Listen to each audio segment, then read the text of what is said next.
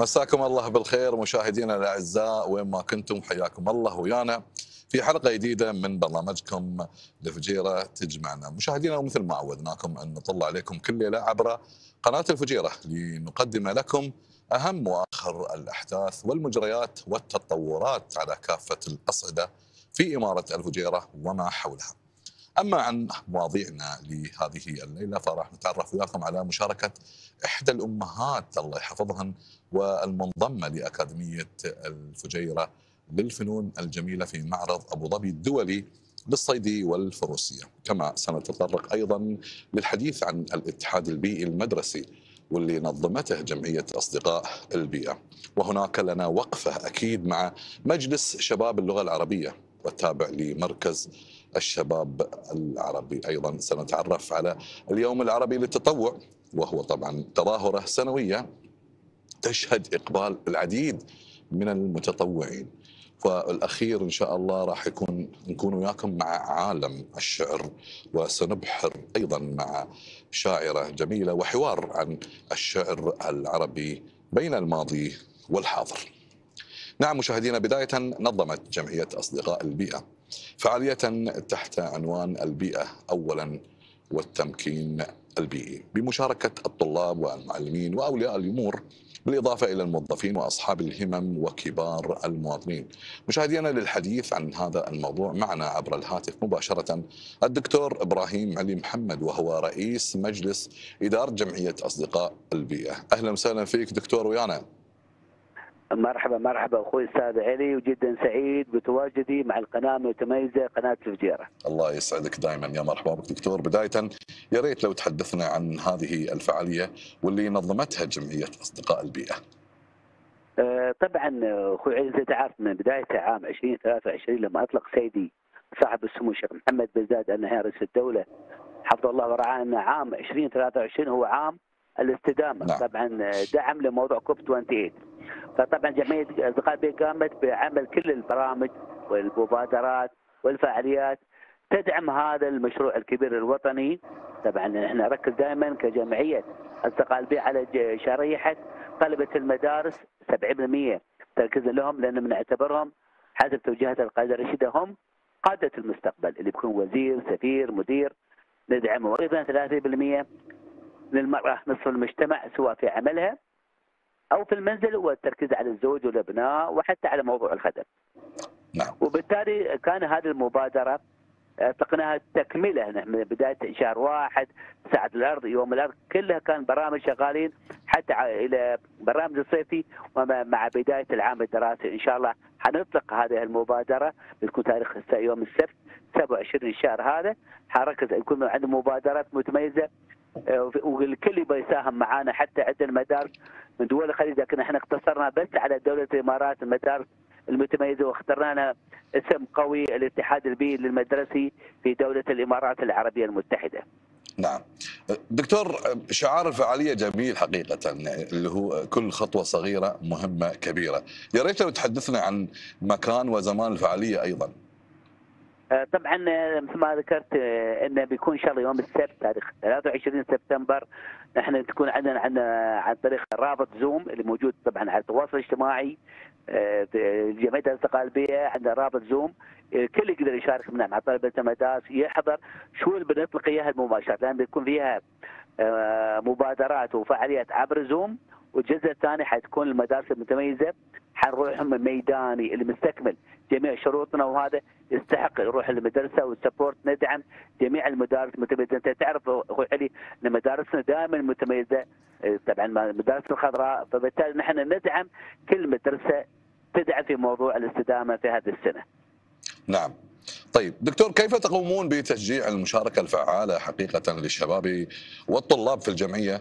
وكيف يمكن لهم أيضا أن يلعبوا دورا مهما في حماية البيئة؟ طبعا إحنا تركزنا في المرحلة هاي على أكثر من مبادره، ركزنا على موضوع زراعة المنجروف اللي هي نبتة القرب نعم. في ابو ظبي في دبي وإن شاء الله تكون في اماره فجيرة، أيضا عندنا موضوع عدد توديع الورق لأن دائما إحنا نوجه إن رسالتنا لموضوع الورق عدد الورق ان نقلل من قطع الأشجار. أيضا عندنا مبادرة الملابس المستعملة عندنا أيضا موضوع سقي الطيور عندنا أكثر من سبع مشاريع لطلبة المدارس تفاعلهم ويدخل في سمو صميم في المدرسة طبعا إحنا نبي نطبقه هذا كله حيكون في المدرسة بعض المبادرات المتميزة وبالتالي حيكون فيها دور كبير لطلبة المدارس أيضا المدرسين أيضا حنشارك أولياء الأمور إحنا بنشارك أكثر من فئة في هذه المرحلة إن شاء الله. نعم. دكتور من خلال الجمعية أيضا آه، قمتم بتقديم التوعية والتعليم حول قضايا البيئة. والسؤال هنا حقيقة كيف يمكن للمعلمين وأولياء الأمور المساهمة في هذا المجال؟ آه، طبعا كل يعرف دور كبير للمعلمين أولياء الأمور.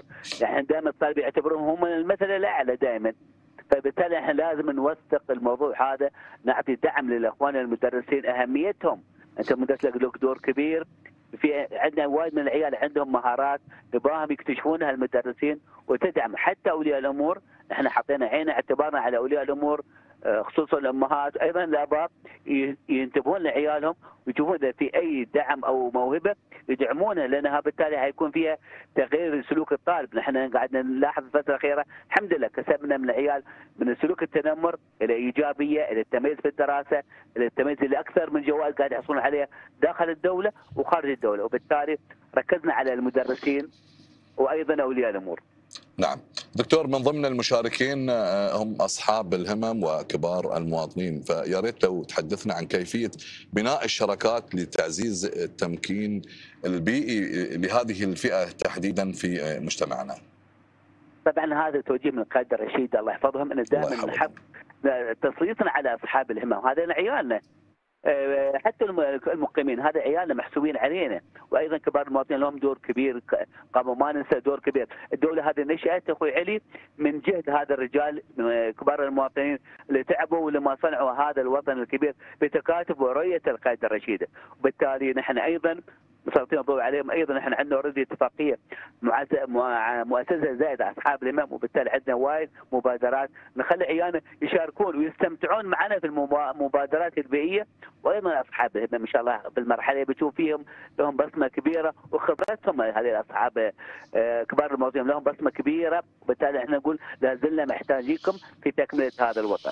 نعم يعطيك العافية. حقيقة أنا شاكر لك على الجملة اللي قلتها أن هذه العيال ومح- عيالنا ومحسوبين علينا. يعني كلمة تنم عن حس المسؤولية حقيقة. دكتور أنا شاكر لك حقيقة على هذا الشعور. ختاما دكتور إبراهيم كيف يمكن العمل معا من أجل مستقبل أفضل وأكثر استدامة للأجيال القادمة؟ دائما أنا أشكر قناة فجيره أنتم الحلقة اللي قاعد تدعمونا في الموضوع. هذا. لو لو أنتم القناة ما وصل صوتنا كل مرة أشارك معكم. الاحظ في مؤشر. صراحة كلمة حقتهم قال في مؤشر قاعد يزيد متطوعين المدارس. فانتم. دائما الإعلام بصفة عامة السلطة الرابعة لها دور كبير يسلمك. إبراز الجهود. صراحة شكرا قناة فجيرة. شكرا أخوي علي. وما أنسى أشكر أختي الأستاذة صدف. دورها الكبير متابعتها جدا متابعه معنا لأي مبادرة. فشكرا أستاذة صدف على دور كبير ونقل صوت جمعية القلبية للمجتمع المدني في دولة الإمارات العربية المتحدة. مع احترام. الثقافات والجنسيات وحتى الديانات. فشكرا قناة الفجيرة. الله يسلمك دكتور وشكرا على هذا الإطراء. ونحن هذا واجبنا حقيقة آه، لا أكثر ولا أقل. آه، نحن تشرفنا فيك وكل الأمنيات حقيقة بالتوفيق لكم في قادم الأيام. الدكتور إبراهيم علي محمد رئيس مجلس إدارة جمعية أصدقاء البيئة. شكرا جزيلا لك سيدي الفاضل على هذه المداخلة. شكرا جزيلا وإن شاء الله على الموعد الجديد. ولنا موعد إن شاء الله أكون معكم لأن حاليا خارج الدولة لكن المرة الجاية الله اكون معكم إن شاء الله. الله يحفظك ويشرفنا تواجدك أكيد. مرحبا الله. يحفظك الله يحفظك. نعم. مشاهدينا وإلى فريق دبا حيث يواصل الفريق فريق دبا الفجيره الرياضي الثقافي تحضيراته لأولى مبارياته في دوري الدرجة الأولى أمام أمام فريق نادي الذيد الثقافي الرياضي يوم الأحد المقبل. كاميرا برنامج الفجيرة تجمعنا كانت هناك. وواكبت تحضيرات النواخذة لأولى مبارياتهم في الدوري هذا الموسم. نتابع المزيد في سياق التقرير التالي.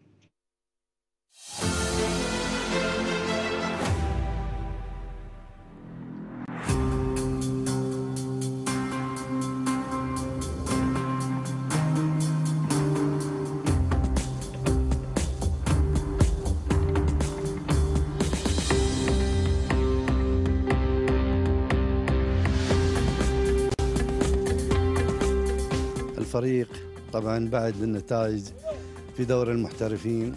والله ما وفقنا في البقاء. بدينا نخطط لعملية العودة من أول وجديد. فبقينا على اللاعبين الرئيسيين المهمين موجودين معانا. وعملنا إضافات مثل الشباب الثلاثي العماني بالإضافة إلى الهداف الصربي اللي جانا من الدور السعودي. أيضا أخذنا ديدي من آه، نادي الإمارات ومجموعة من اللاعبين. بدأ الفريق في عملية الإعداد في 15 سبعة معسكر داخلي. ثم في 28 سبعة الفريق غادر في معسكره الخارجي. لعب مجموعة من المباريات ومدة ثلاثة أسابيع. قيادة طبعا الكابتن القدير كابتن حسن العبدولي. الحمد لله رب العالمين إن هذا مكسب كبير وجوده معنا. لعبنا هنا مباريات ودية نتائج طيبة والفريق الحمد لله مستواه في الرتم ماله من الأفضل إلى الممتاز. والله الجماهير بدون رسالة الحمد لله رب العالمين. جماهير دبا جماهير وفية. جماهير هي اللي تسعى من أجل الوقوف مع الفريق. وهم مستعدين ومبادرين. شباب بروحهم يتكلموا على أساس عملية التشجيع ويا الفريق والوقوف مع الفريق. والنادي أيضا مستعد وموفر باصات اللي هي مواصلات من وإلى النادي مع أيضا الاحتياجات الخاصة في الجماهير. فإن شاء الله دعوة مفتوحة للشباب والنادي ناديهم والنواخذه يتريوهم.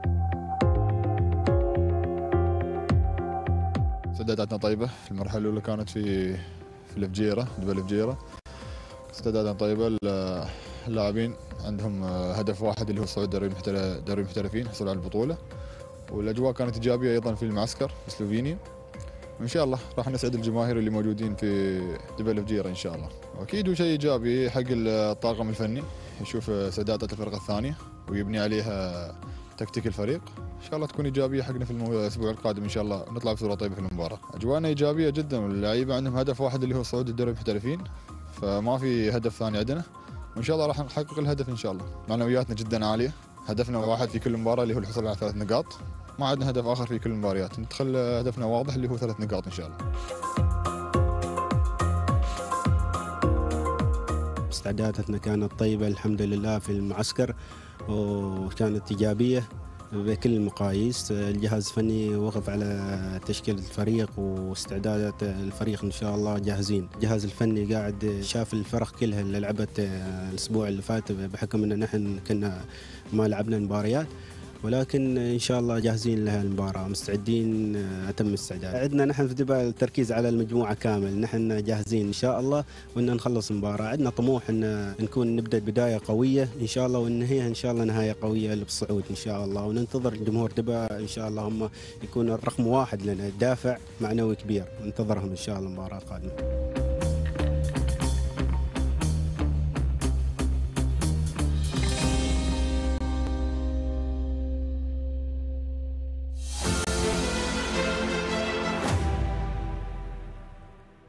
نعم مشاهدينا الكرام أهلا بكم من جديد. مشاهدينا يعتبر الشعر العربي واحدا من أهم الوسائل في نقل تفاصيل الحضارة العربية وتاريخها. كما يتسم أيضا بالعديد من الألوان الشعرية التي تميزه عن غيره من الفنون الأخرى. دعونا نتحدث أكثر عن هذا الإرث الحضاري الكبير في فقرة مجلس الدار.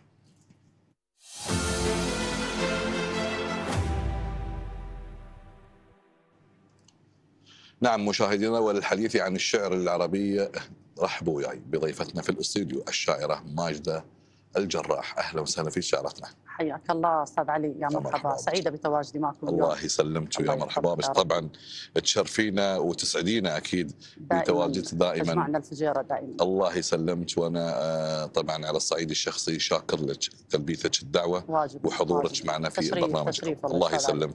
بدايه أكيد استاذة ماجدة بنتحدث عن الشعر العربي في الماضي. الشعر في الماضي والحاضر أستاذ علي كشعر لم يتغير. بحور قوافي أوزان. لكن تغيرت المفردة. أه، تغير الموضوع. اللي يتناوله الشعر. آه، قديما في الجاهلية آه، كانت الألفاظ في الشعر قاسية فظة. واحيانا غير مفهومة. من كثرة آه، بلاغتها. لما جاء العصر الإسلامي بعد ذلك تميزت باللين وتغيرت الأغراض آه، تناولت الموضوعات الدينية، النصح الإرشاد. بعد ذلك العصر الأموي تطرق للشعر الغزل ال- العذري وأمور كثيرة. لكن حاليا آه، المحبب الشعر البسيط. يعني للأسف أن الجيل الحاضر يفضل الشعر البسيط بالمفردة البسيطة أصبح يشعر بأن هذا الشعر الزخم لأن هذا الشعر هنا. ووجود عدم ثقافة للمجتمع أصبح المتلقي مع يعني اعتذاري أيضا بعيد عن هذا المكان. فبحاجة أن يقفز حتى يتذوق هذه الأبيات الجميلة التي ورثناها من أزمنة عديدة. نعم. زين شو رأيك نتذوق شيء قليل من هذا الشعر؟ أكيد من قصائدك الجميلة آه، أكيد يسعدني.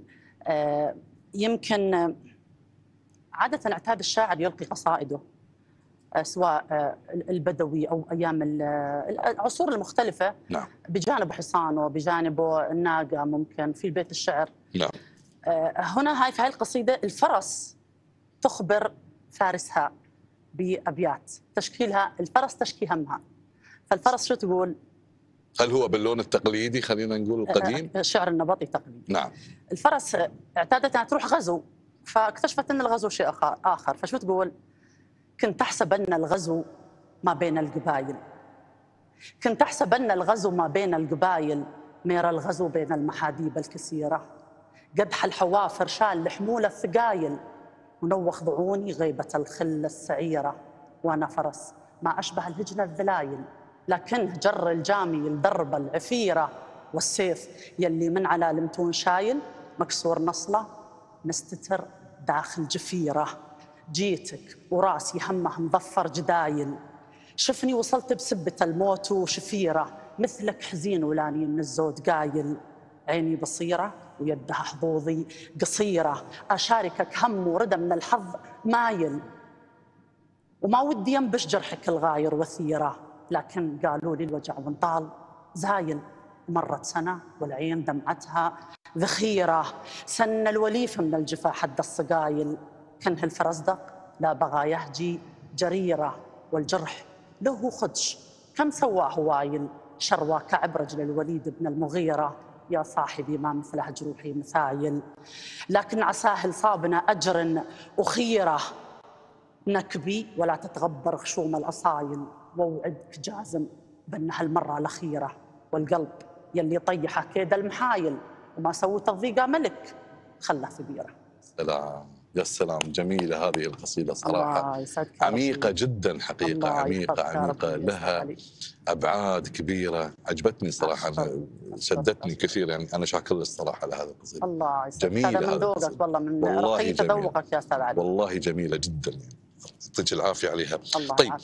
خلينا نروح شوي وندردش عن القصيدة بشكل عام. هل هناك قصيدة نقدر نقول عليها أنها وصلت لمرحلة الشيخوخة خلاص؟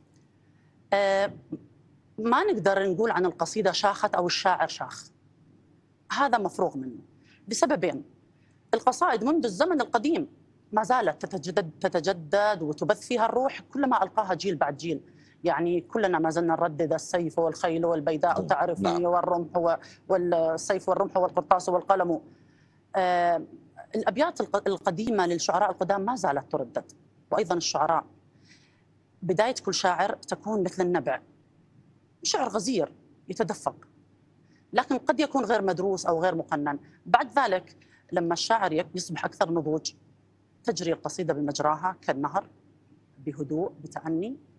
تقل قد تقل حصيلة الشاعر الشعرية أو ما يكتبه لكنها تكون بشكل ناضج.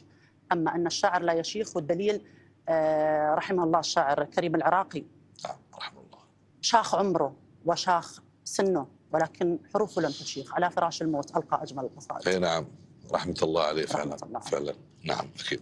طيب برأيك أستاذة بالقصائد اللي نشوفها ونسمعها هاليومين اللي يسمونها قصائد البيتين أو ثلاث بيوت رأيك فيها هذه؟ هل تشبع المتذوق للقصائد ام لا؟ إذا بنتكلم عن كم أو نتكلم عن كيف. القصيدة أحيانا البعض ينظر لها بأنها إبداع مبتور. يعني إبداع وبيت مبدع ولكنه مبتور ينتظر تكملة. لكن أحيانا بعض الأبيات آه، تحتوي على فكرة وتصور شعري جدا جميل وتكتفي بأن تغني على قصيدة.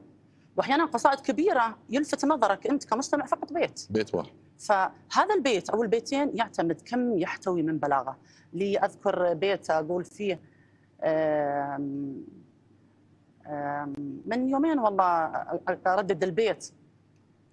أقول فيه يا ربي من عقب تشييع المشاعر صوب مثواها الأخير. وش فائده صوت اتصال في جيب من فارق حياة؟ خلاص ما أقدر اكملها هو هذا البيت جاب هالطريقة.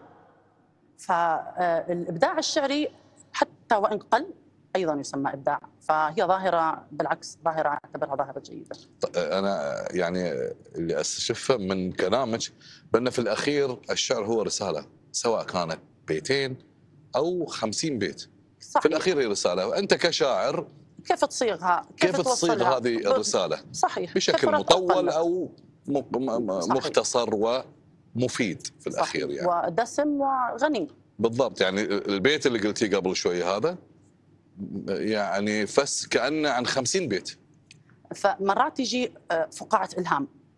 خلاص تعطيك صورة تكتبها وتروح. فقاعة اعطتك لمحة ومضة. بالضبط. وخلاص تلاشت. ما تقدر تلاحقها. فبهذه الطريقة. طيب. السؤال حقيقة المتداول دائما واللي دائما يحضر في كل النقاشات والجلسات الحوارية التي تخص الشعر تحديدا. الشعر أستاذة ماجدة موهبة ولا صناعة؟ أنت تصنع حقيقة. آه، والله يا أستاذ علي آه، نقدر نقول الاثنين معا. آه، للأسف ظهر بعض الشعراء ممن لا يمتلكون الموهبة الكافية ولا يمتلكون الطريقة الصحيحة لتنمية موهبتهم اضطروا لصناعة قصائد تخلو من الإبداع والصور الشعرية والركائز الأساسية للقصيدة. فنتج قصيدة ركيكة. هناك الكثير من القصائد الجيدة. وعلى النقيض أيضا هناك الكثير من القصائد الغير جيدة. ف بهذا يقول المتنبي انام ملء جفوني عن شواردها ويسهر غي... ويسهر الخلق جراها ويختصم المتنبي واثق من نفسه مره يتنفس شعر. لكن البقية شو؟ يسهر الخلق جراها ويختصم يجلس يص- يصنع القصيدة.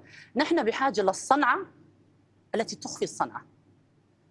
يعني تصنع قصيدة وحبك حنكة الشاعر بأن لا يظهر الصنعة التي أخفاها داخل أبيات قصيدته بهذا الشكل ينتج قصيدة أكيد ممتعة. جميل صراحة. حقيقة والله أستاذة ماجدة الحوار شيق معك. أنا أنا ما أبغي هالفقرة تخلص أبغيها الطول. الله والله يحفظك يا رب. والله ما شاء الله عليك. أسئلتكم أيضا جميلة والله بالعكس يعني. معلومات ثقافة شعر جمالية في الكلمات حقيقة. أنا اليوم طمعان صراحة بأني أنا أسمع قدر كبير من كلماتك ال- الله الجميلة يسعدك. حقيقة. تبشر تبشر أستاذ علي. تبشرين آه، بالخير. بسالك أنت من النوع اللي تزعل؟ قول لا. تتجاوز الزعل ولا ما تتجاوز؟ أتجاوزه. آه، نحن عندنا مثل يقول وعد ما عليه رباط أو كلام ما عليه رباط نعم. يعني انه ما يوفي بالوعد وكلامه يعني مش موثوق. فعندي قصيدة أقول فيها تجاوزت الزعل ونسيت وعد ما عليه رباط وعلى النقيض تجاوزت الزعل ونسيت وعد ما عليه رباط. وحطيت العذر فالعشق خلي ما يفك الخط. وقلت في خاطري يمكن حروفي ما عليها نقاط. ويمكن تنقصه خبرة تحسب لولوي على الشط من الديباج والسندس لباسي يومنا في القماط. وص- وصقر حر ما يشبه ديوك أو حمام وبط. تفرق عيني اليمنى ما بين الواقع والهياط ويسرى عين يتفرق إذا غاب الوليف وغط. تأكد من قبل لا تطير بن السندباد بساط وإلا بترتطم في الأرض وتعوف المحبة قط. ولا تدفعه ودك كاش نبضات العشق أقساط. وسلفه ودين بين اثنين هذا يحط له ذا حط! ولا تحرق فؤادك لين غيرك يوصله الشياط. وحب بقدر خلك حذر. عقدر المحبة عط رسول الله يقول أحبب حبيبك دون ما إفراط. وحكمة قالها جدي يقل الصيد. كثر النط سلام يا سلام يا سلام عليك آه، أنا اليوم أعطوني وقت زيادة يا جماعة الله أنا أعطوني يخليك وقت. اليوم والله أني. أتشرف متشرفة والله مستمتع وسعيدة. بتواجدي معكم وأنا. على يقين حقيقة بأن السادة المشاهدين خلف الشاشة أكيد مستمتعين بهذه الكلمات الجميلة عسانا عند حسن الظن دائما اللي. الواحد يستطرب يعني يقول لك ال- ال- الطرب أو إنك تستطرب يوم تسمع موسيقى وهذا ولكن إنك تسمع شعر وتستطرب أنت وصلت لقمة الاستمتاع ترى حتى النص. الشعري أستاذ علي له موسيقى خفية يشعرها صاحب الذوق الرفيع شرواك الله يسلمك المتذوق كلما ارتقى ذوقه وكان يمتلك ثقافة ويمتلك حس شعري شعر بهذه الموسيقى جميلة انت شكرا لك شكرا لك حقيقة. الله يسلمك الله يسلمك. طيب يعني أستاذة ماجدة الكلمات العذبة هذه والكلمات الجميلة هذه اللي إحنا قاعدين نسمعها إحنا والسادة المشاهدين ما المصدر مصدرها من وين؟ مصدر إلهام الشاعرة ماجده الجراح وين؟ أو شو هو المصدر؟ والله قد لا يختلف مصدر إلهامي عن بقية الشعراء أستاذ علي ولكن هو ليس مصدر واحد مثل ما يقولون عصفور واحد لا يأتي بالربيع فهي عدة مصادر لكن القاعدة الرئيسية لإلهام الشاعر أتوقع بالعموم الحياة تجاربها الأشخاص المواقف الذاكرة. الذاكرة على فكرة من أكثر المحفزات اللي عندما تمر صورة قدام عينك أو تمر لقطة آه، موقف يذكرك ينبش ما قد أكل الدهر عليه وشرب. فتستثير في قصائد لي بيت أقول فيه كنت احسب انه عدوي يوم خيل البعد أسرج. والصحيح أنه عدوي هو بقى يا ذاكرة. يعني الذاكرة عدو الإنسان. ليش؟ أنا تصحي ما قد دفن وكان انه يندفن فعندما تصحي هذا الشيء تستثير الشاعر حتى أنه يكتب. وأتوقع هي يعني منبع آه، غزير لكل شاعر. نعم. يعني حقيقة هناك سؤال على الصعيد الشخصي بأن الشاعر لابد أن يكون مثقف مطلع على الشعر مش فقط على الشعر الثقافة بشكل عام يعني إحنا نتكلم. ولكن السؤال أيضا هل لثقافة الشاعر دور في آه، تميز قصائده أم لا ممكن يجيك شاعر مش مثقف أو بالأحرى حتى ممكن يكون مش متعلم ولكن قص- قصائده تكون عشان- الثقافة هي هل الثقافة دور أم لا؟ الثقافة لها دور كبير لكن التعليم مش هو نفس تأثير الثقافة كثيرين من جدودنا واللي كتبوا الشعر وعوشة بنت خليفة السويدي والجمري نعم نعم. ما حصلوا على تعليم المناسب اللي يأهلهم أنهم يصلوا مثلا لمراكز معينة ولكن كان شعرهم يفوق أبناء هذا العصر بكثير لأنهم كانوا مثقفين الحياة أكبر مدرسة ثقفتهم إذا ما كنت تمتلك أنت معجم شعري خاص بك أنت كعلي اليماحي معجم خاص أستطيع أن أعرف لما أسمع هذه القصيدة هذه مفردات أستاذ علي اليماحي، هذه مفردات الشاعر الفلاني. لي معجم خاص فيني أنا من ثقافتي ينبع من بيئتي من طريقة نظرتي للأمور.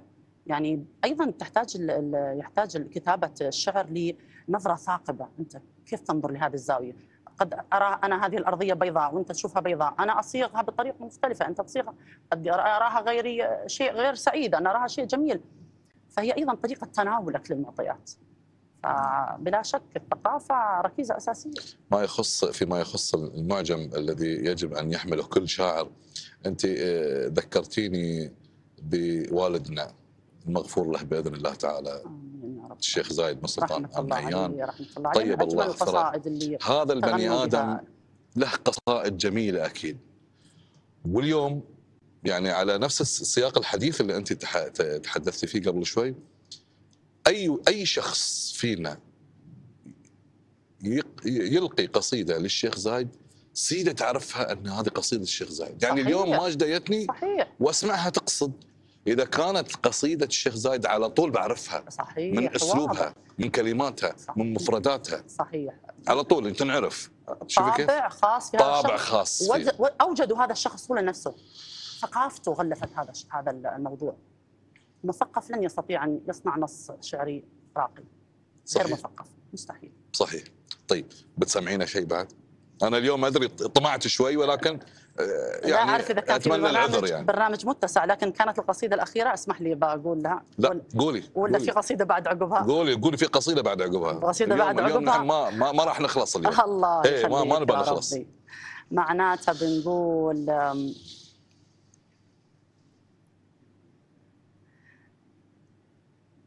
آه، عندي قصيدة. نعم.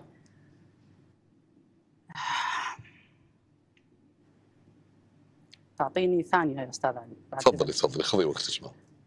خليني أقول القصيدة اللي قبلها مجهزتها طيب. وبعدين هذه القصيدة اللي بقولها الآن صراحة من أصعب القصائد اللي كتبتها من أصعب القصائد آه، كلمني أستاذ محمد صالح السويجي أوجه له تحية بالمناسبة من نعم، خلال هذا. البرنامج وللمخرج مبارك ماشي للمشاركة في مهرجان كلباء كلموني تليفون نبغى قصيدة تتكلم عن الثقافة في الشارقة ودور الشيخ سلطان القاسمي وكيف نشأت الثقافة داخل الشارقة ومن ثم محليا ومن ثم عربيا وكيف توجهت قوافل الثقافة.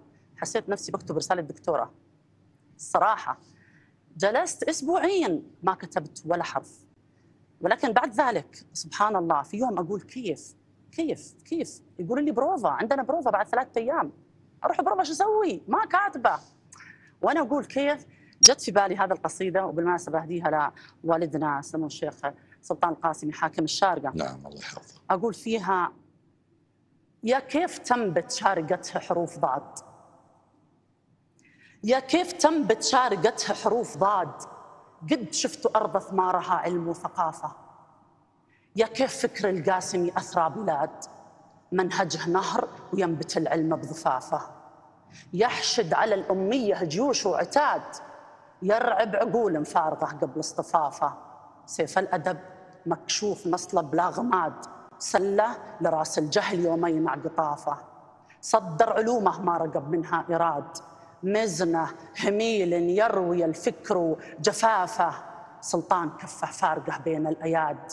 معجم أدب له بصمة تكسي غلافه.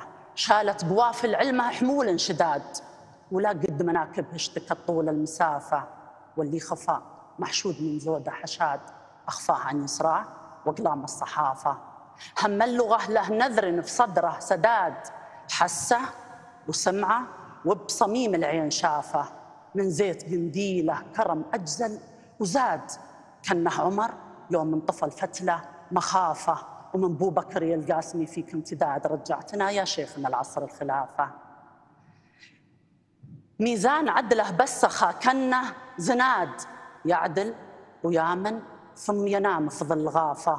يجعل عمرك في سعادة وفي ازدياد. ولك جنة ما بين نون الله وكافة. تعداد ضبح العاديات من الجياد. تعداد ما خط الشعر حرفه وقافة. باسمك تظل الشارقة نبض الفؤاد. بيت الأدب منزل فكر دار الضيافة السلام عليك صح لسانك حقيقه صح. الله ويستحق طبعاً. أكيد هذه القصيدة سلطان القلوب أكيد صاحب السمو الشيخ الدكتور سلطان بن محمد القاسمي عضو والله يستاهل بعد الزود يعني نحن. مقصرين الصراحة نعم الله يحفظه حاكم إمارة الشارقة ويحفظه ويطول في عمره أكيد شعرتنا هل يستطيع الشاعر الكتابة في أي وقت أم أن له أوقات معينة يستطيع والله يمكن التأليف؟ السالفة اللي خبرتك عنها قبل شوي هي أكبر دليل أن الشاعر ما يقدر يكتب في أي وقت. والله جلست أسبوعين ما قدرت أكتب حرف. حسيت إني في مأزق وابى أتكلم تليفون أقول لهم يا جماعة شلوني؟ أنا ما قادر أكتب. أنا أنا اعتزلت أنا مش شاعرة. فأحيانا الشاعر مش في إيده. مش الحين بجلس أعصر مخي أكتب فكرة. لا. آه، في ظروف معينة لكل شاعر. قد الشاعر الفلاني يحتاج مثلا إضاءة وجو مثل هالجو تجود قريحته شاعر آخر يحتاج للظلمه في مقولة تقول بأن الشعراء خفافيش. يحبون يكتبون في الليل. آه، مش قاعدة طبعا لكن في شعراء بهالطريقة يحبون يكتبون في الليل. لكن أنا أتوقع بأن آه، لكل شاعر طقوس معينة. المكان له دور؟ آه، ما إلى دور المكان. أبدا. ابدا. آه، في البعض يقول لك إذا رحت البر مثلا ممكن أنا أعرف أكتب أروح البحر أعرف أكتب. لكن هل لو أنا موجودة الآن هني ما عرفت أكتب. إذا رحت الحين على الشط بعرف أكتب. ما له. أنا 90% من قصائدي كتبتها في غرفتي. داخل البيت في نفس المكان اللي أكتب فيه أجلس ورقتي وقلمي في نفس المكان. فما إلى دور المكان ابدا أستاذ علي. نبع من داخل الشاعر وأبشرك بعد. لا في جن ولا في شيطان ولا في إلهام ولا في اللي يتخبرون عنهم. إذا حد عنده يعطينا أرقامهم. ما مش موجودين هذيل ابدا. لا جن ولا شيطان ولا غيره. ما شفتهم من ما تكتب ولا شفت واحد منهم. فمنبع من الداخل. موهبة ربنا غرسها في في هذا الشخص. لذلك آه، يستطيع أن يجود ويكتب. طيب لو قلت لك أستاذة ماجدة إن آه، شو المشكلة اللي ممكن يواجهها الشاعر؟ مشكلة كبيرة تعيقه حقيقة عن كتابة أي قصيدة. خلاص يوقف مخه خلاص ما يقدر يكتب. ما, ما, ما يعني يمكن المشكلة تخليه يكتب. المشكلة إذا صابت الشعر أنا تعمدت. اسالك السؤال هذا على فكرة. لأنه آه. فعلا أغلب المشاكل هي اللي تخليك تكتب أنت كشاعر. فكل قصيدة منطلقة من من عصرة مخ خلني أسميها. أصابتك مشكلة ضغطتك الحياة وين تفرغ تطلع القصيدة؟ فهي المشاكل أيضا. وليش أقول لك المواقف والمشاكل؟ أيضا نشكر اللي يسوون مواقف لأنهم يساعدونا أن نبدع لهم يد في إبداعاتنا هذه لهم أكيد دور في هذا القصائد أكيد طيب. يا ريت لو نسمع حاجة من هذه الإبداعات بعد أستاذة ماجدة. ادري تعبناك اليوم ويانا ولكن تدرين يعني ال- الكلمات الجميلة هذه الواحد آه، ما ما فرصة ما تعوض يعني. الله يحفظك يا ربي. آه عندي قصيدة أقول فيها صراحة أنا مجهزة قصيدة يعني ودي أني أقولها قوليها مرة خذي راحتك نعم آه أحيانا لما يكون الشخص مريض ويروح المستشفى الطوارئ نعم. يسأل الدكتور كم مقياس الألم عندك؟ يقول لك من عشرة من عشرة، يقول لك نعم. إيه سبعة ثمانية يعني المغص زيادة مثلا الصداع وايد فيسألك من عشرة فأنا جلست أفكر كسر الروح وكسر القلب للإنسان كم مقياس الوجع فيها؟ لو بنعطيها من عشرة جاوبني أنا أنا أقول لك 100 من عشرة. والله يمكن صحيح. صحيح وتزود. وتزود وتزود. نعم نعم أكيد. فهذه القصيدة أنا قلت فيها في مقاييس المواجع كيف كسر الروح يدرج. وين وين صنف وبي فئة يا جماعة. في مقاييس المواجع وين كيف كسر الروح يدرج. جيش تتقادح سيوفه وتنذبح عساكره لا هي داحس لا هي غبرة لا هي أوس ولا هي خزرج. الضلوع اللي غزاها للمواجع حاكرة. ما لي بخوض المعارك لي فرس في الغدر أعرج. والجموح اللي حشدها للمودة ناكرة. كيف أرجي منه حجة وهو ظروفه دوم مخرج. ونور أمسه ما يشابه غير عتمة باكرة. السموحة يا خفوقي والله إني منك محرج. أعترف إنها خدعتني الحصون الماكرة. العشق كالحرب خدعة تظهر بوجه مبهرج. ما بتنجو من, من الأذى لو تدرسه والذاكرة. العشق كالحرب خدعة تظهر بوجه مبهرج. ما بتنجو من الأذى لو تدرسه والذاكرة.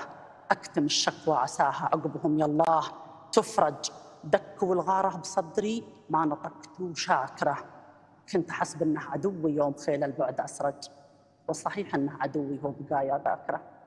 الله السلام عليك. يا سلام عليك جميل. صح لسانك آه. شعرتنا. يعني آه، جميلة أكيد ن- نختم فيها هذه آه، الفقرة أكيد. أنا شاكر لك. تواجد شاكرة سعيد لكم. جدا. هذه الفقرة للذكرى حقيقة على الصعيد. الشخصي أكيد. لنا بالمثل. والله الله- متشرفين بوجودنا معك الله يسلمك. الله يسلمك. نتمنى ما شاء الله نتمنى تكون لقاءات أخرى إن شاء الله بإذن تجمع. هذا. وعد منك دام أكيد. الفجيرة تجمعنا إذا الشعر يجمعنا. وشكرا لك يا أستاذ علي. بإذن دائما الله بإذن مبدع ومتألق وتمنياتنا لكم ولبرنامجكم كل التوفيق الله يسلمك الله يسلمك الشاعرة ماجدة الجراح. شكرا جزيلا لك سيدتي الفضل على تواجدك معنا اليوم. الله. يحفظكم ومساكم خير. الله يسلمك. نعم مشاهدينا فاصل قصير وسنعود إليكم انتظرونا.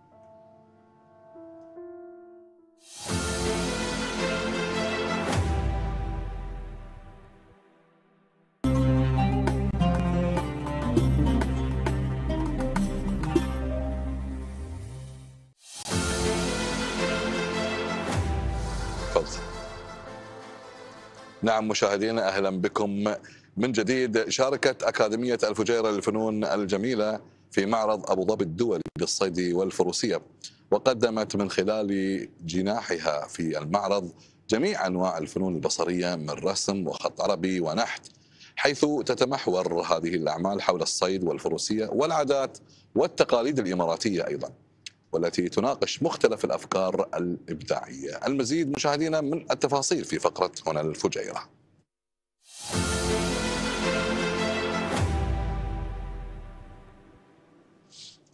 نعم مشاهدينا وللحديث عن هذا الموضوع رحبوا بضيفتنا في الاستديو الوالدة الشيخه محمد القايدي وهي مشاركة في معرض أبو ظبي الدولي للصيد والفروسية مع أكاديمية الفجيرة.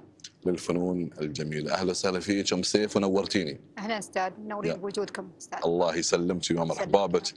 يعني أول شيء أكيد إحنا نبغى نتكلم عن مشاركتك في آه، المعرض أكيد اللي هو آه، معرض الصيد والفروسية في أبو ظبي. كانت الصراحة تجربة جدا جميلة والصراحة كان مكان وال وأكاديمية الفجيرة والمعرض كان قمة الروعة. نعم. وأكيد كانت لمشاركتك هذه آه، بصمة متميزة آه، يا ريت لو تكلمينا عنها. بصمتي أنا تتكلم عن ورشة التلي آه، بين ال- ال- الماضي والحاضر.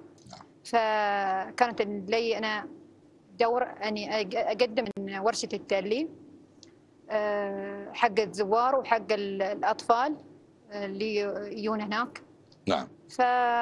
فالحمد لله كانت بعد آه، أكرم الروعة الصراحة. الحمد لله إيه، الحمد لله. الحمد لله. الله يعطيك الصحة والعافية. يعافيك يا رب أم يستر سيف خلينا شوي نتكلم عن التلي تحديدا. من كم سنة وأنت تخدمين التلي وكيف تعلمتي؟ منو اللي علمك إياه؟ آه، من كم من سنة؟ آه، من ألف- 1987 أشتغل على التلي من يوم كان عمري 11 سنة. ما شاء الله عليك. وعلمتني إياه زوجة أبوي. الله نعم. يذكرها بالخير. الله يذكرها بالخير. وكنت أول ما كان عندنا أجهزة مثل الحين الآيباد والشغلات هذه. وكنت أتسلى أحس إن فيها فيها شيء يعني نفس اللعبة وأحب هذا. وتميت أت- تميت أتعلم. ما حسيتي في البداية أول ما جيتي اشتغلتي وأنت يوم كان عمرك لازم. إن إن إن صعبة وهذا لأني أنا أشوفها معقدة ما أعرف ليش. هي يعني معقدة صعب يعني هي كيف؟ معقدة اللي ما يعرفها بس الحمد لله تعلمتها صح خبصت البداية. ما في ما في واحد يبدأ من وش اسمه؟ من أول شيء بنش بيمشي. لا لازم يطيح وينش ويطيح وينش لما يتعلم الشيء. فالحمد لله حابة انها الشغلة يعني. أنت ما شاء الله عليك. يعني. من 1987 وانت تشتغلين عليها. نعم. و- و- وبالطريقة التقليدية. وصار الحين مع التطور يعني أنا أشوف الشغلات الجميلة هذه من براقع وهدوب وخيوط والأمور اللي مثل هذه. وهذه الشنطة الجميلة اللي أنا جتني معلومة أنها ضربت ترند ما شاء الله على الشنطة هذه. إيه، فايضا يعني خبرينا أنت كيف قدرتي تدمجين التلي مع الشنط وتركبيه في الشنط؟ وأكيد أنا على يقين وأنا مرة متأكد أنك التلي هذا بإمكانك تركبينه على أي حاجة مش بس شنطة. أكيد. نعم. آه، فأنا يوم انعرض علي نروح آه، نادي الصيد والفروسية أبو ظبي نعم. آه، مركز غرس للاسره المنتجة. نعم. كلمتني استاذه الأستاذة مريم آه، أستاذة مريم كانت تقول لي يوم سيف ترى عندنا ورشة ورشة تألي فقلت أنا أبى أتميز بشيء مميز بشيء خلقايدي. ما أبى أكون نفس التقليد ال- ال- الحريم الب- الباقيات. نعم. فالحريم الباقيات طبعا الكل مسوي آه، طبعا الكندورة التلي ركب على الكندورة والثوب هذا كان في الأصالة اللي هو الماضي. نعم. نسميه الأص- الأصل يعني الاصل ولين اليوم أظني ولا؟ ولليوم. نعم. وما زال الحين بعدين الحين رجع مرة ثانية اللي الحين ردت ال- إيه نعم. موضة التلي الحين. نعم ردت نعم. فسوي سويناه على المداخن سويناه على المدخنة سويناه على المزهريات آه، على الصرود على المغطى على ال- الحارات الباردات مال ال- المهم مال تقديم ال- الطعام ولكن نعم ضيافة. إيه. وعلى الدلال على كل شيء. على محافظ على بعد في ما بقول أنا أول إماراتية آه، بس أنا أول إماراتية أركب آه، التلي على الجنطة الماركة. يا سلام. هي يعني أنا أنا شو بغيت؟ بغيت أوصل للشباب. الشباب طبعا نسوا التلي ما يعرفون التلي. فحتى كانت تجيني أسئلة آه عبالهم آه أنا قاعدة أشتغل على السدو. قلت لهم لا أمي أنا ما أشتغل على السدو أنا أشتغل على هاي التلي هاي التلي. وكنا نستخدمه الماضي على الأشياء على بس كندورة والثوب على شيء, ثاني بعد. فالحين حاولنا ندخله في عدة أشياء. و... وأنا حبيت أتميز بالجنطة. يعني يكون شيء مختلف عن عن البقية. هذه هذه أنا أشوفها أم سيف اسمحي لي إنها خط خطة عبقرية بأنك أنت ما شاء الله عليك آه، تبي تدخلين أو تبي توصلين رسالة وهذه الرسالة من الموروث التراثي الاماراتي ومن عاداتنا وتقاليدنا وشغلنا وشغل أمهاتنا ويداتنا أكيد؟ أكيد. تبين توصلين هذه الرسالة للجيل اليوم؟ جيل اليوم. من خلال من خلال الش- الجنطه الشنطة والشنطة اللي هي آه، شيء جديد مستحدث. تطور متطور جديد.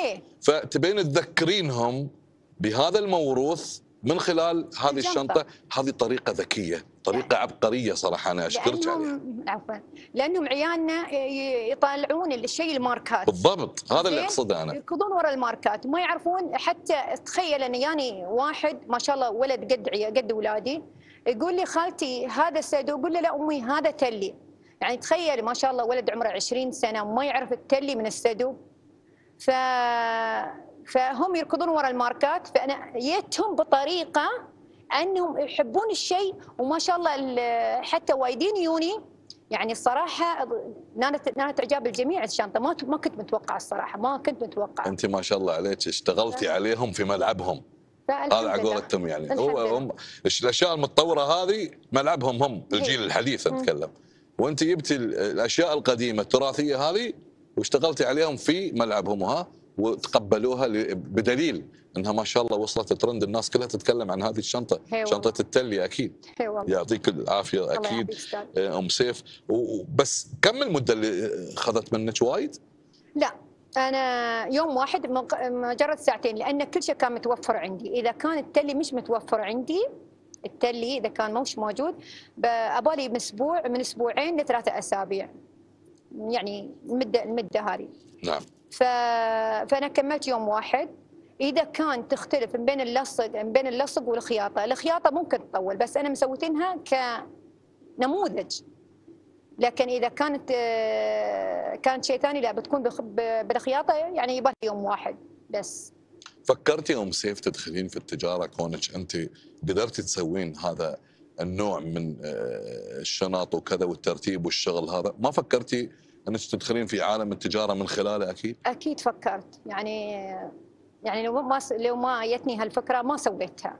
فأنا لازم أبى اكون لي شيء خاص فيني أنا. ما شيء بص- بصمه لشيء خلق ايدي فحبيت هذا الشيء.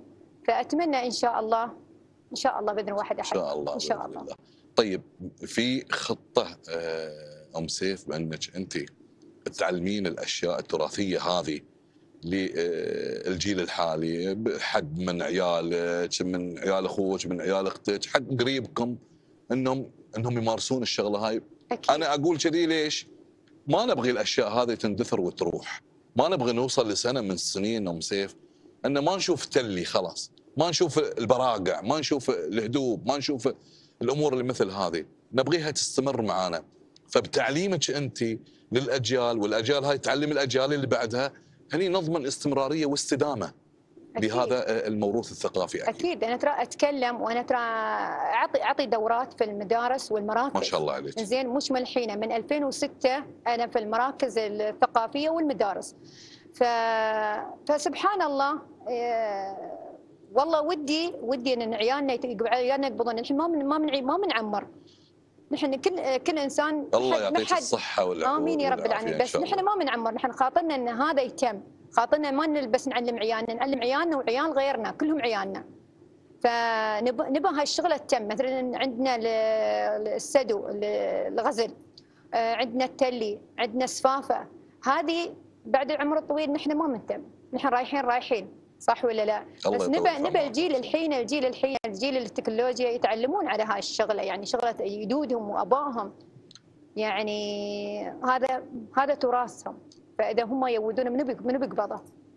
نعم أكيد جزاكم الله ألف خير جزاكم الله أنتم أنتم أنتم الجيل الذهبي أنتم الجيل الجميل الجيل الطيب الجيل.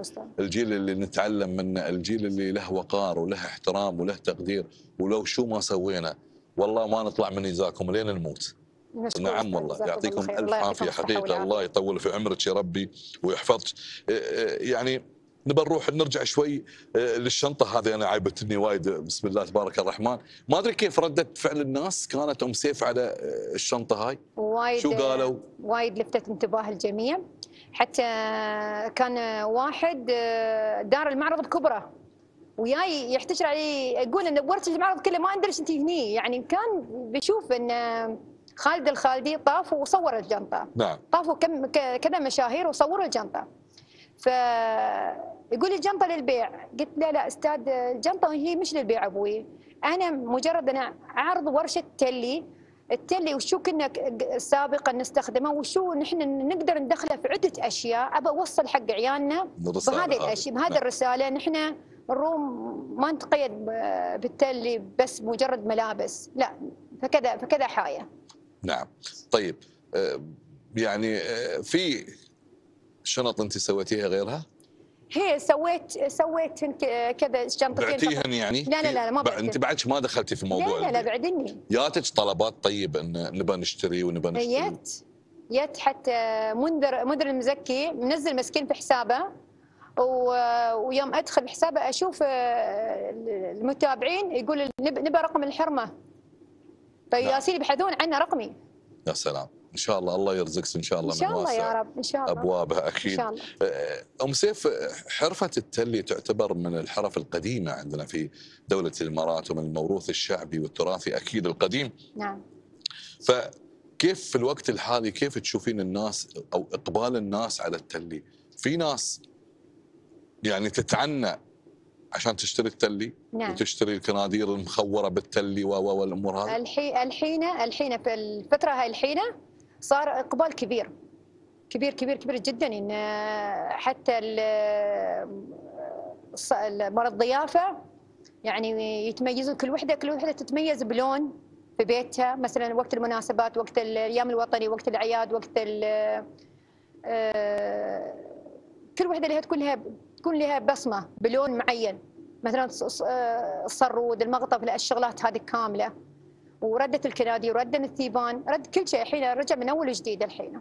نعم ما شاء الله عليك ما شاء الله طيب يعني آه هذا المنتج أو الشنطة هذه يجمع بين التراث وبين آه الحداثة أو الشيء المتطور بداية لدخولك أيضا لعالم التجارة.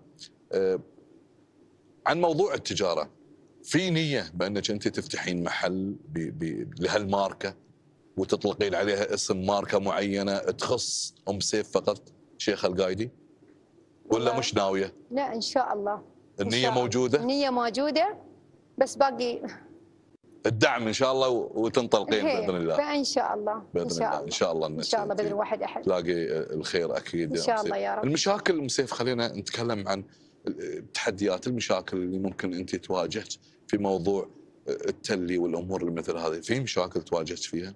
يعني في خدمتهم في خلاص أنت متمرسة. نعم. ولكن أنا أتكلم على الخيوط والهدوب اللي حق الخاصة بالتلي. تحصلين مشاكل ما تحصلينهم؟ لا لا لا. غاليات مثلا؟ لا الحمد لله أوكي. ممكن الخيوط ال- الحرير ممكن شوية غالية بس القطن لا جدا هذا.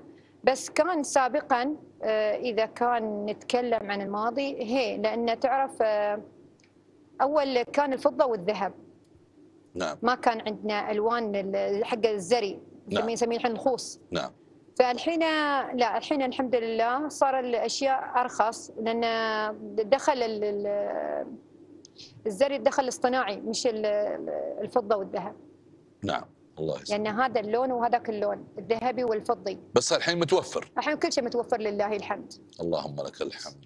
أنا آه، سعدت جدا بتواجدك معي آه، لي لي الشرف ولي العزة ولي الفخر بأن آه، أم سيف أم من أمهاتنا أكيد القدامى اللي يملكن من المخزون التراثي الكبير تواجدهن معاي في يوم من الأيام هني. هذا يحسب في يعني لصالحي أنا لشغلي الإعلامي. أنا أتشرفت فيك يا ام سيف الشيخة أستاذ. محمد القايدي مشاركة في معرض أبو ظبي الدولي للصيد والفروسية مع أكاديمية الفجيرة للفنون الجميلة. شكرا جزيلا لك.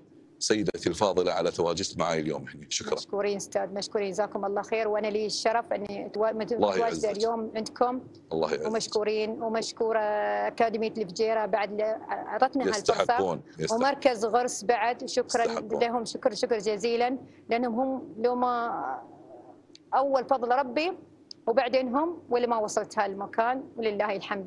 الحمد لله جزاك الله خير الله مشكورين جزاكم الله خير وأنتم. مشكورين أنكم أعطيتوني فرصة أن أشارك اليوم في قناة الفجيرة أنت تأمري. علينا أمر يا ام سيف تسلم تسلم الله يحفظك إن شاء الله. تسلم شكرا شكرا العفو. نعم.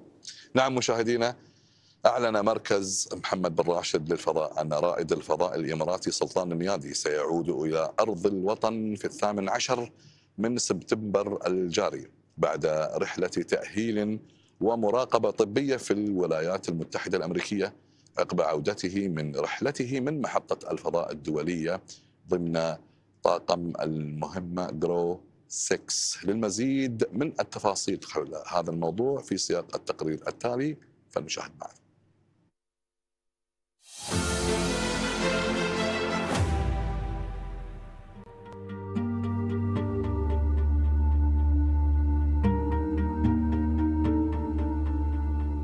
يعود رائد الفضاء الإماراتي سلطان النيادي إلى أراضي الوطن يوم الاثنين المقبل في الثامن عشر من سبتمبر بعد عودته إلى الأرض في الرابع من سبتمبر الجاري. بعد رحلة ناجحة امتدت ستة أشهر إلى محطة الفضاء الدولية ليسجل بذلك إنجازا إماراتيا كأطول مهمة عربية في الفضاء. ونجح رائد الفضاء الإماراتي سلطان النيادي في تحقيق إنجازات نوعية وتاريخية رسخت اسم دولة الإمارات اقليميا وعالميا كأول دولة عربية تنجز أطول مهمة فضائية في تاريخ العرب دامت لستة أشهر في محطة الفضاء الدولية وتضمنت إجراء تجارب علمية رائدة تسهم في خدمة البشرية والمجتمع العلمي. وأصبح النيادي أول رائد فضاء عربي يخوض مهمة السير في الفضاء خارج محطة الفضاء الدولية ضمن البعثة التاسعة والستين في شهر أبريل الماضي والتي استمرت نحو سبع ساعات لتنفيذ عدد من المهام الأساسية كالصيانة والتحديث علاوة على إكمال السلسلة التحضيرية لتركيب عدد من الألواح الشمسية على المحطة حيث تشكل الطاقة الشمسية دورا محوريا في تشغيل محطة الفضاء الدولية وتوفير طاقة نظيفة ومتجددة لدعم التجارب والأنظمة والعمليات اليومية على متنها. عودة سلطان النيادي ليست مجرد عودة شخص في زي رواد الفضاء إلى الأرض، بل هي عودة بطل يحمل معه رسالة قوية للشباب الإماراتي والعربي بأن الأحلام يمكن تحقيقها. إنه إلهام للأجيال القادمة لاكتشاف المجهول والتفوق في مجالات العلوم والتكنولوجيا.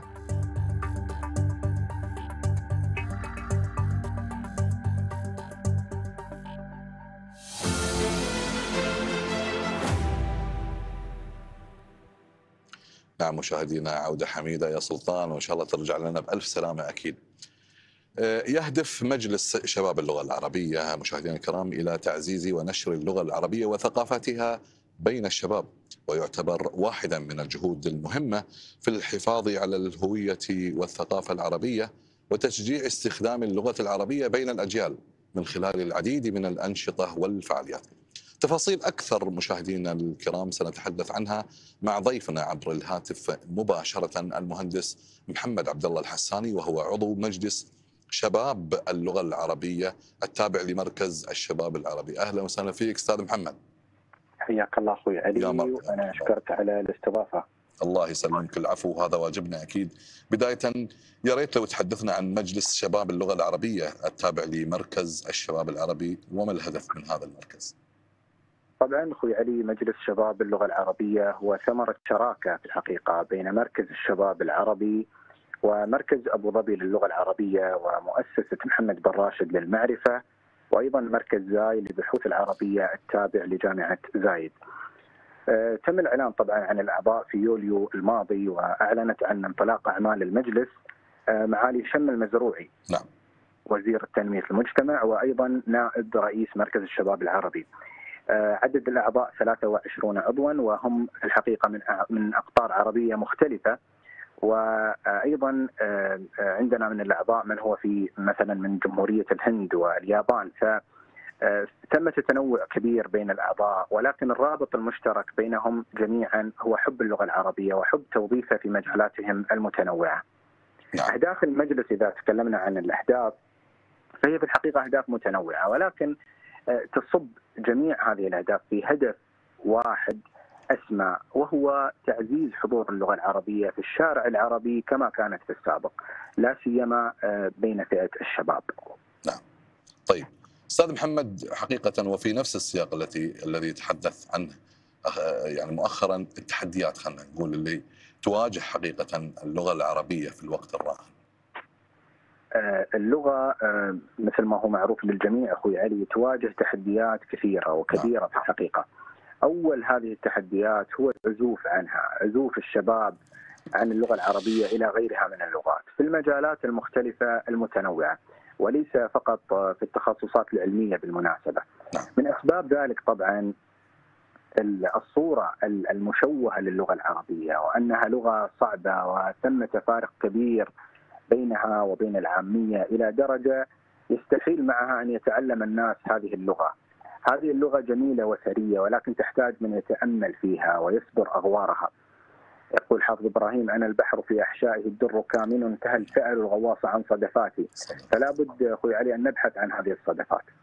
نعم أكيد. وحتى أنا أذكر في في فترة طلعت مقولة شديد لا أعلم الحقيقة آه، يعني مصداقيتها بأن اللغة العربية أصعب لغة في العالم. يعني هذا ما قالوه عن اللغة العربية.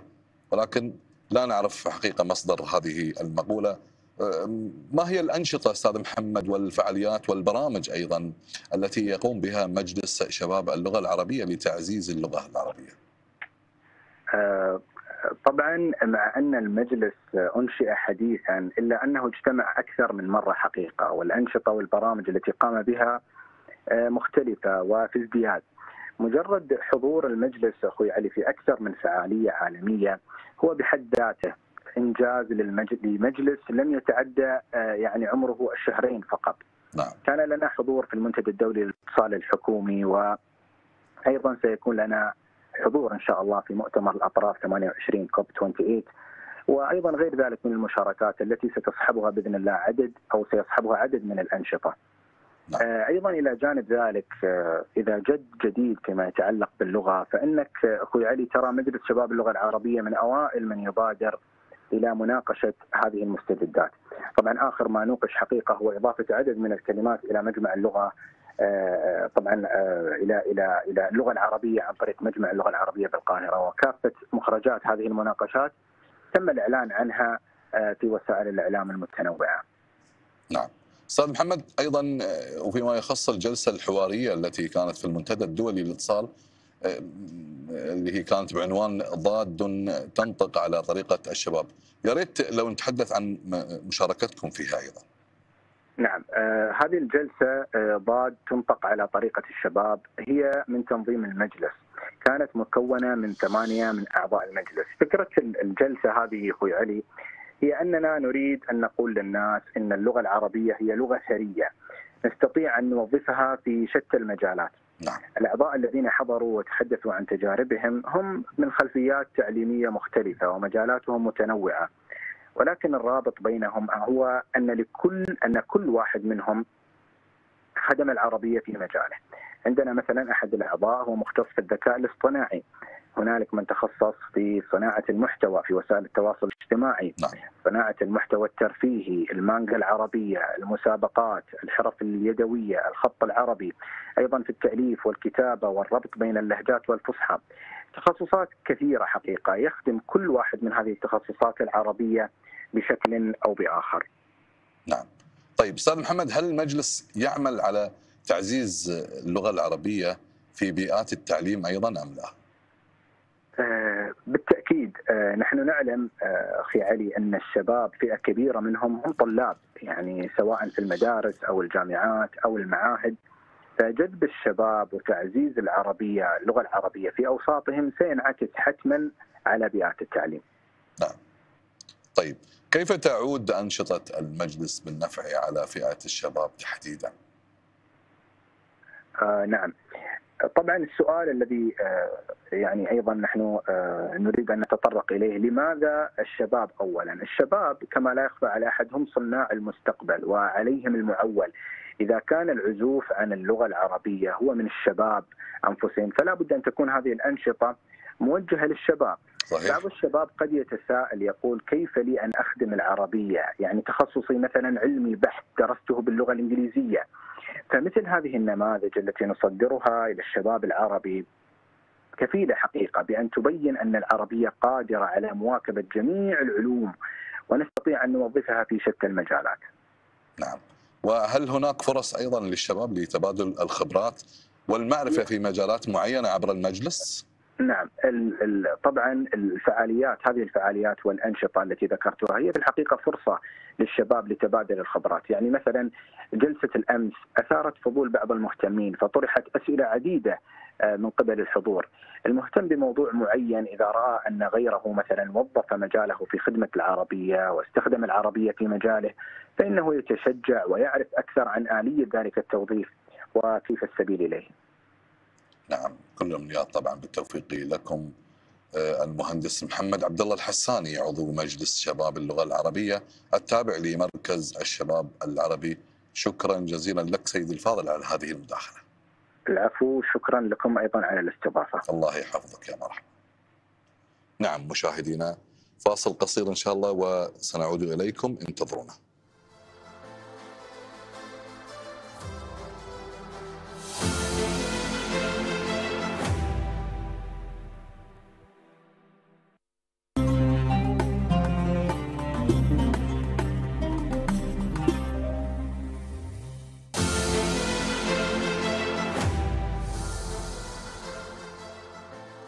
أهلا بكم من جديد مشاهدينا الأعزاء.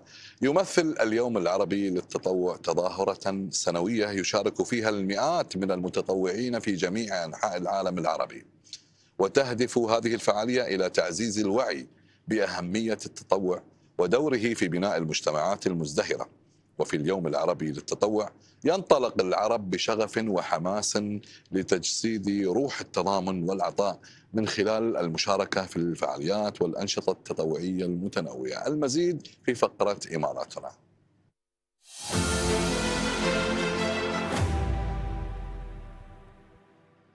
نعم مشاهدينا رحبوا وياي بضيفي في الاستوديو المتطوع سلام مرسل. أهلا وسهلا فيك أستاذ سلام. أهلا فيك أستاذ علي. يا مرحبا بك. الله يحفظك. الله يسلمك.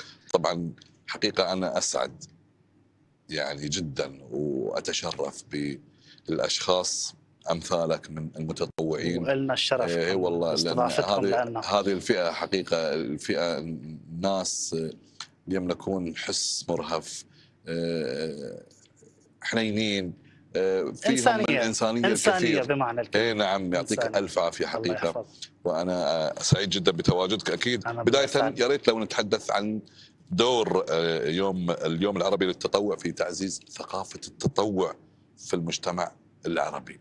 الثقافة موجودة أستاذ أكيد الثقافة موجودة ولكن ماذا تحتاج حقيقة؟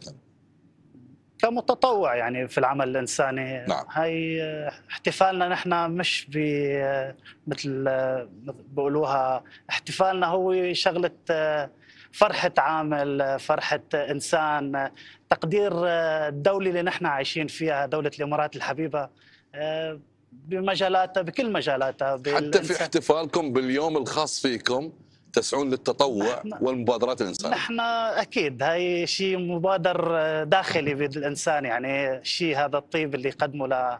للإنسان ب... بكل مجالاته. يا سلام عليكم يا سلام عليكم. طيب شو اللي خلاك يعني أستاذ سلام بأنك أنت تدخل في هذا الجانب التطوعي؟ متى بدأت وشو اللي خلاك أصلا تنجذب لهذا الجانب؟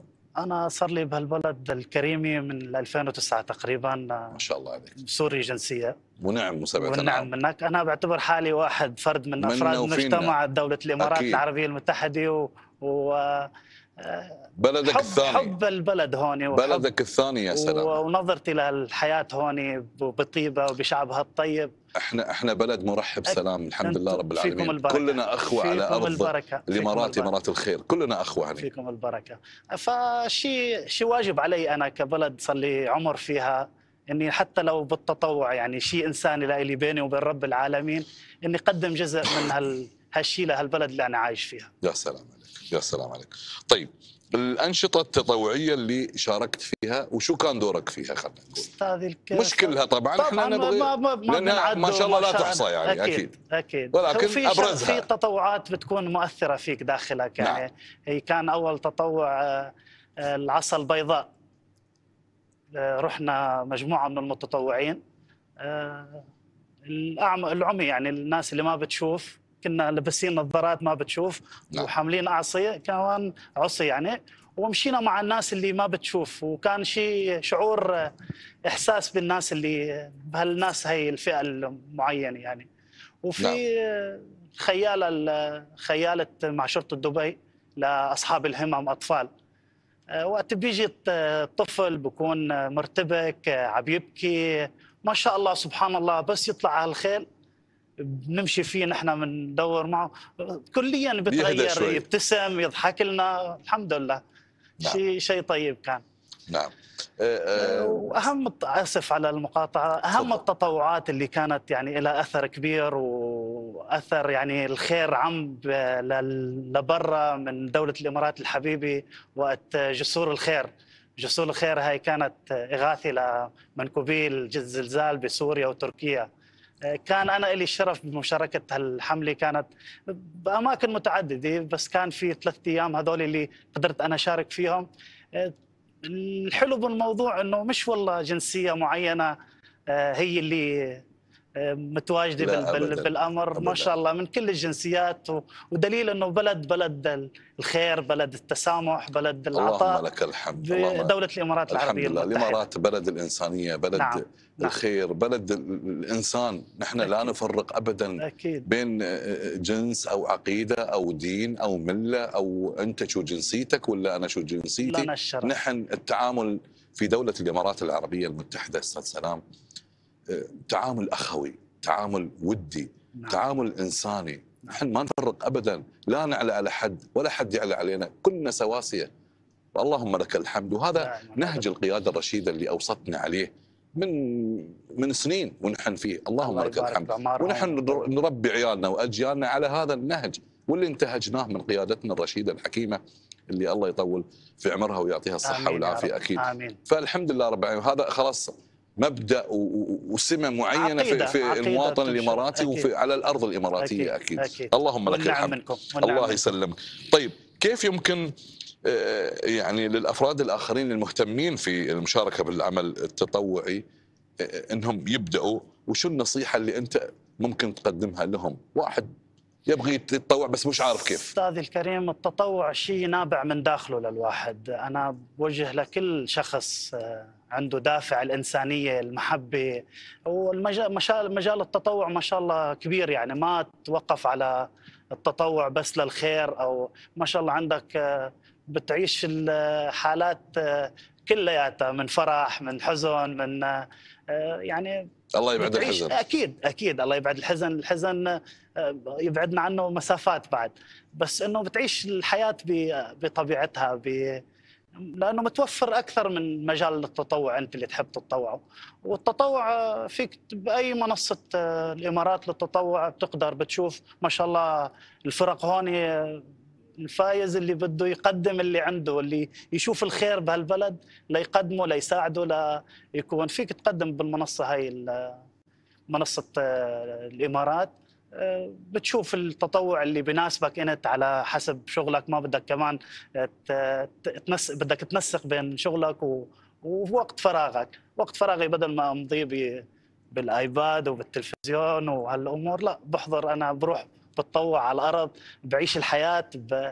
وقتي بيمضى على بالسريع يعني. تستمتعون أنتم أكيد سلام نستمتع ها؟ أكيد نستمتع تستمتعون بال- وقت إنت داخلك حابب هالشيء بدون تردد انت بتستمتع وبتكون أنا لاني لأني أنا ليش قلت لك كذي آه، سلام أنا آه، في متطوع سألته قلت له يا أخي أنت آه، تسوي الشغلة هذه أو الموضوع هذا وما تحصل مقابل وبشكل يومي وين المتعة في الموضوع؟ وين الفائده في الموضوع؟ أنت شو تحس كيف يعني وتتعب حالك ومش حالك من هالكلام.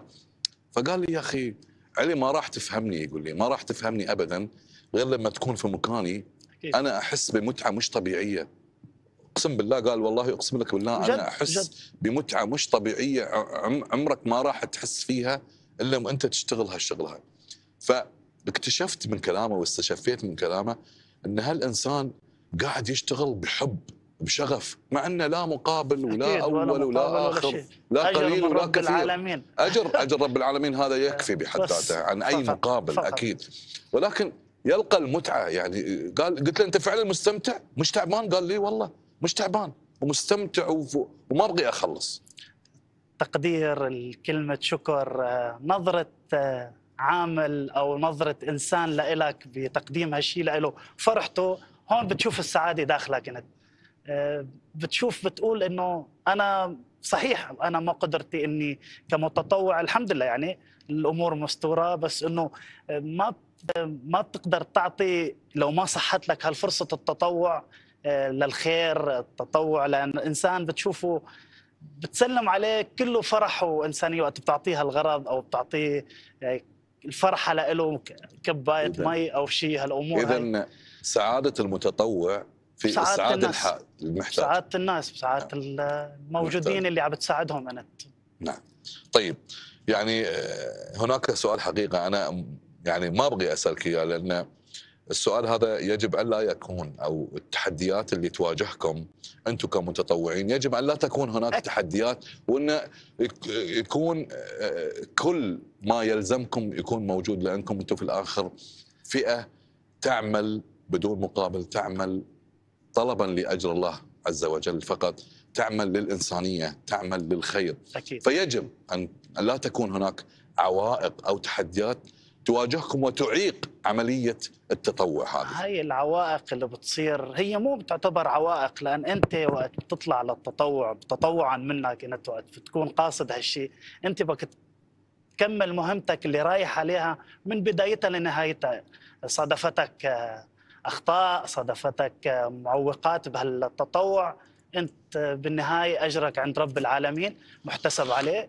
ونحن بتصير آه، كثير آه، آه، أمور يعني مش كثير ما نقول كثير كثير بس بتصدف هيك نادرا ما يكون في هيك خلافات أو شيء يعني بهالموضوع. بكون الاتفاق بيكون قبل بيوم بشيء وبعد ما يصير الحدث تختلف الأمور كلياتها. بس مثل ما قلت لك هالأمور هاي بنشيلها على جنب نحن ما بنطلع عليها.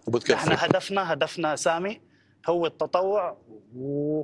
ومشاركة البلد بهاي الأمور نكون جزء لو بسيط يعني بخدمة هال... هالوطن الكريم. الله يسلمكم. طيب طيب أستاذ سلام كيف يمكن للمؤسسات والمجتمعات أيضا دعم المتطوعين وتعزيز دورهم في خدمة المجتمع؟ هلأ أنا كموظف آه، بمؤسسة آه، مؤسستنا ما شاء الله مش مقصرة ب بتقديم ببعث الإيميلات في قسم مخصص لهالأمور هاي التطوع و وعلى طول بخبرونا بالتطوعات وهالأمور فأنا بنصح كل شركة إنه تشارك بالتطوع. وفي أحيانا عم بتصير آه، شغلة حلوة بالتطوع. مش والله أنا كجهة رسمية عم بعمل تطوع. لا عم بشارك عدة جهات عدة شركات عدة نعم. جهات ناس إنه بهالتطوع هذا للخير طبعا بالنهاية. كله نعم. موجه طيب برأيك أستاذ سلام ما الفوائد الاجتماعية والشخصية للمتطوع؟ شو ممكن يحصل من الفائدة؟ تغير بشخصيته تغير؟ أنا بحكيك عن كشخص متطوع. أنا كان دوامي من الصبح الظهر بعد الظهر نام. آه، ممكن أحكي الاهل لا هلأ حياتي حسيتها في تغير بالحياة. في معالم بالبلد هون أنا ما كنت أعرفها. أنا صار لي من ال 2001 بال ب- بإمارات الحبيبه آه، في معالم ما بعرفها. أنا التطوع هذا يعني خلاني إني أشوف منا- مناطق جديدة بدولة الإمارات العربية المتحدة. وإلي الشرف بالبداية وبالنهاية ولآخر آه، آه، عمري بهالبلد إن شاء الله التقديم اللي بقدر عليه ونحن معكم فيه. الله يسلمك يا سلام هل لديك آه، خطط مستقبلية أيضا في مجال العمل التطوعي؟ والله نحن أنا جاهز كمتطوع إن يكون مع أي فئة تعمل الخير بتقدم الخير. مو ضروري إنه تكون جهة آه، مشهورة أو شيء لا أي إنسان بشوفه خير. أنا بالطريق إذا بشوف حدا متعطل أو شيء لا بوقف أنا مصاب كنت بحادث ومع كل هيك شفت مرة يعني هي حس داخلي جواته الواحد. ساعدته طلعته برات الشارع والحمد لله يعني البلد هون بلد خير بلد طيب آه، ابتسامة شخص لا بتعرفه لا بيعرفك هاي بتحسها داخلك إنه والله أنا عايش ببلد الخير فأنا لازم أقدم الخير لهالبلد. السلام عليك أنت إنسان جميل سلام. تسلم تسلم الله يسلمك. تسلم. روحك الله جميلة و... والمتطوعين بشكل عام يعني أنا ناس حقيقة آه، أقدرهم وأرفع لهم القبعة وأشكرك حقيقة شكرا لك على تواجدك اليوم. معاي. أسعدني وشرفني حقيقة تواجدك. الله يسلمك. يا أستاذ علي الله الأستاذ. والمتطوع سلام مرسل. شكرا جزيلا لك على تواجدك معي. جزيل الشكر. شكرا شكرا شكرا. شكرا. نعم مشاهدينا وصلنا معكم لختام هذه الحلقة. على أمل اللقاء بكم إن شاء الله في الأسبوع القادم. إلى ذلك الحين تقبلوا تحياتي وتحيات طاقم العمل ودمتم بخير. Thank you.